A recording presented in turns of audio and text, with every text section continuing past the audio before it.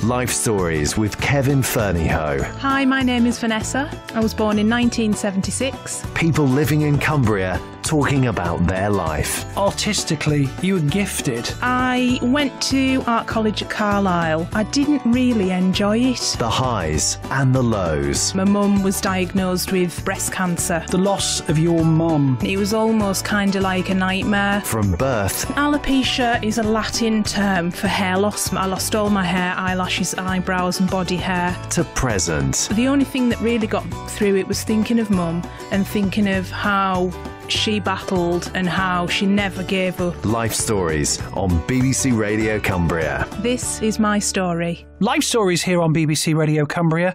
My storyteller this week, a lass from out west of the county, Vanessa Cowan. Looking to the future. I mean, what's your philosophy on life, having gone through so much? And I hope you don't mind me saying, so very, very young.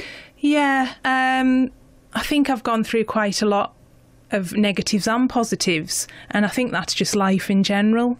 Um, you know, I don't think I'm any better or any worse off than anybody else, but I think it's how you turn around things around and um, bounce back, really.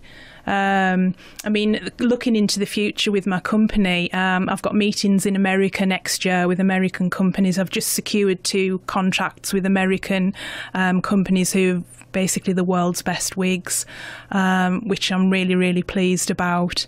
Um, I have a Hollywood actor that I um, sort of chat with who also has alopecia. His name is Anthony Carrigan.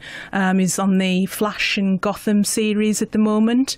Um, so he's been very supportive. He's a lovely, lovely man. So that's another connection I've got in the States. And the more that this condition, alopecia, is spoken about in public, surely that the stigma will, will just ease and, and fade away. Yes, um, I'm. Well, the charity that I'm working with is AAR UK. Um, um, it's run by a lady called Jane Waddle, who's just a beautiful, wonderful lady. She um, has worked tirelessly for the company, uh, sorry, for the charity. Um, and that is basically trying to raise, all they need is £20,000, um, which will create a biobank um, for people um, basically to go to get a sample of blood, um, create this biobank, um, and then she's got scientists um, in Scandinavia ready to go to research um, not only alopecia as an autoimmune disease, but the links to all the other autoimmune diseases. Because once you get alopecia, you're 50% more likely to get major autoimmune diseases like diabetes, rheumatoid arthritis, MS.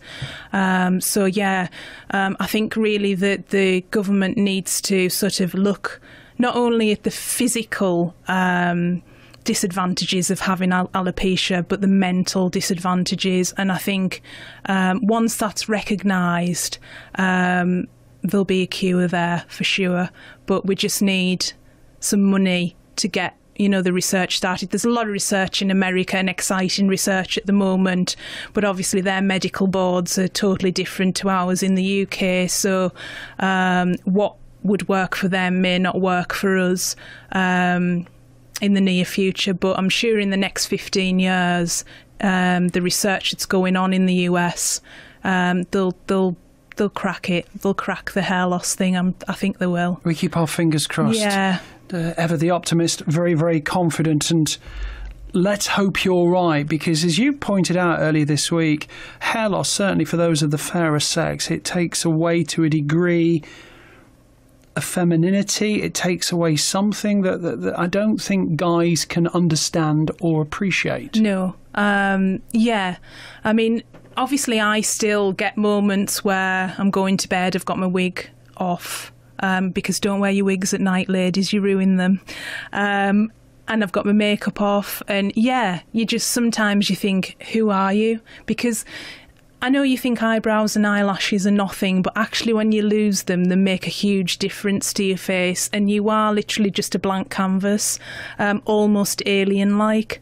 Um, and again, it depends on your mentality and how you look at things. But I think for most women and children, it's a devastating thing. Um, and something that needs to be nurtured, really. That you know, the they need they need to have a support support group around them of people going through the same thing or have gone through the same thing to really understand um, how it affects you. Yeah. Vanessa, we started this week live stories here on BBC Radio Cumbria. Uh, very quickly discovering got a a very, very gutsy gal on my hands here.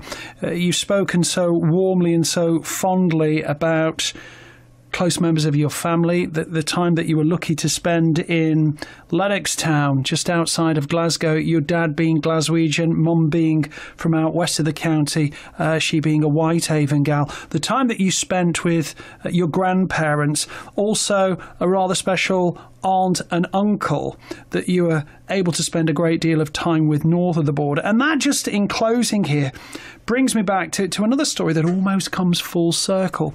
Just how spoilt, just how lucky are two nephews of yours, Ben and Sullivan? Oh, they, I mean, I talk about mum being the light of my life, but they are. Um, the next two lights of my life.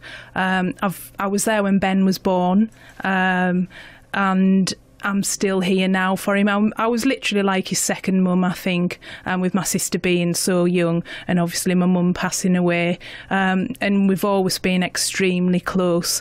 Um, I've watched him grow into um, a very handsome young man. He's 18 now. Um, he's got his head screwed on. He's very driven, um, loves to work. Um, and I think he'll go very, very far. Do you vet the girlfriends? we don't know about girlfriends. When we ask him, he's very quiet. Right. Um, yeah. So he's just passed his test. He's bought he, he's bought himself a little car, um, and so he's off all round Cumbria constantly. Um, so yeah, he's just um, he's an entrepreneur in the making. I think, without doubt. Gets that from his aunt. That's what it'll be. The loss of mum that you spoke about earlier this week, and uh, so touching that, that that you said, "Light of my life has gone." Has that made you extra protective towards dad? I mean, if, if we could, let's face it, I'm thinking about my own parents here. If we could, we'd wrap them in cotton wool and we'd keep them in a little shoebox so yeah. no one or nothing could ever get at them. That's it. I mean, I think when something like that happens to you when you're so young, you've got that sort of frame of mind for you know everybody that you love in your life.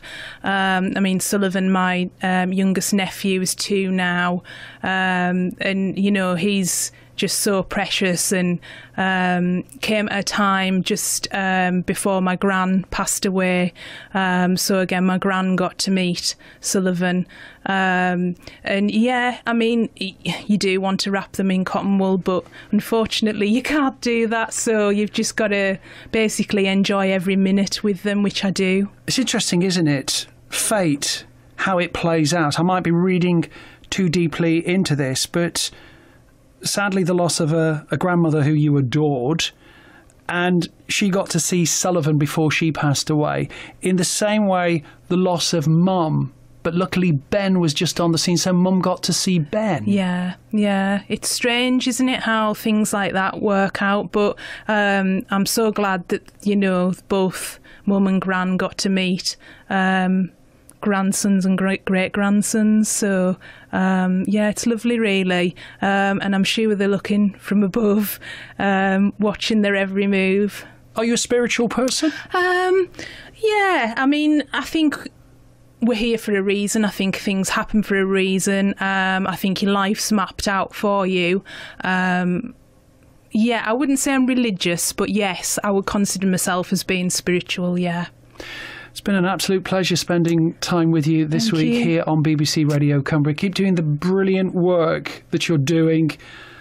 Vanessa, I look forward to speaking to you again sooner rather than later. You'll probably be taking up one of the seats for Dragon's Den. Uh.